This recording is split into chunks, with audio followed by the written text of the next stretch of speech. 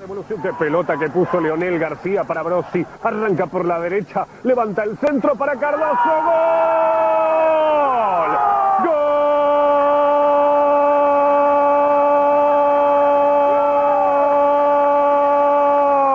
¡Gol!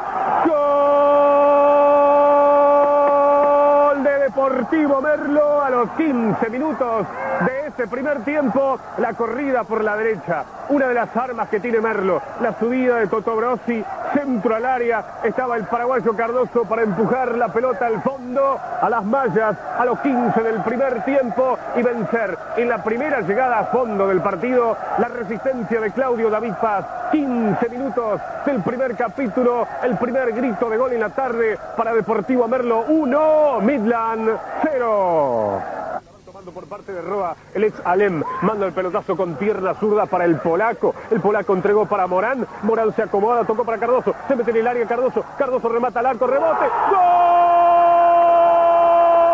Cáceres en contra,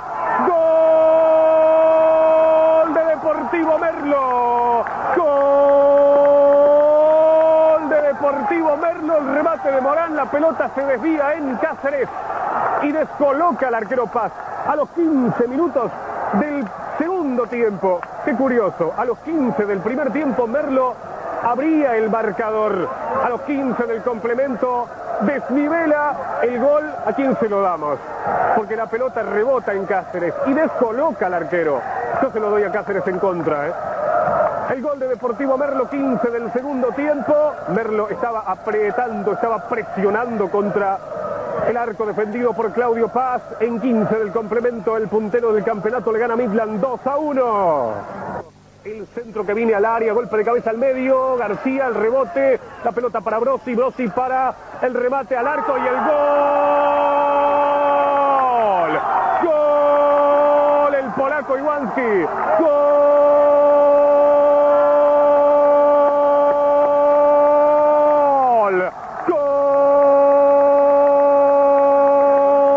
Gol de Deportivo Merlo, el polaco Iwanski.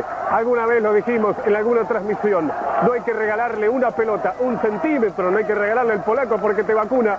No ha hecho mucho en el partido porque fue muy bien marcado. Pero tomó el balón en el sector derecho, internado en el área y solo ante el arquero lo sometió con un remate de pierna derecha para, sí, me animo a decirlo, 40 minutos del segundo tiempo para liquidar el partido porque Merlo saca dos goles de ventaja, Merlo 3, Midland 1, el gol del polaco Iwanski para que Merlo siga más puntero que nunca. El Deportivo Merlo, 41 minutos casi, tiempo de aquí en más para quizás el cuarto de Merlo, centro contra el área, atención, cabezazo, gol,